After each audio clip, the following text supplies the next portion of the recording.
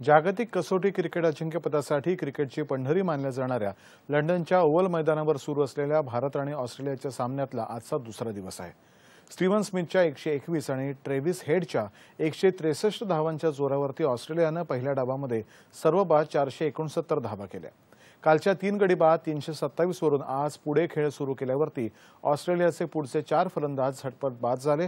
मात्र चौथ्या गड्यासाठी दोनशे पंच्याऐंशी धावांची भरभक्कम भागीदारी झाल्यामुळे ऑस्ट्रेलिया पहिल्या डावामध्ये सुस्थितीत होता. भारताच्या मोहम्मद सिराजनं सर्वाधिक चार गडी बाद केले. मोहम्मद शामी आणि शार्दुल ठाकूरनं प्रत्येकी दोन गडी बाद केले. भारताच्या पहिल्या डावाला सुरुवात झाली आहे. सलामीला आलेला रोहित शर्मा पंधरा धावा करून बाद झाला आणि त्यापाठोपाठ शुभमन गिलही तेरा धावा करून तंबूत परतला. शेवटचं वृत्त हाती आलं तेव्हा भारताच्या दोन गडी बाद तीस धावा झाल्या होत्या.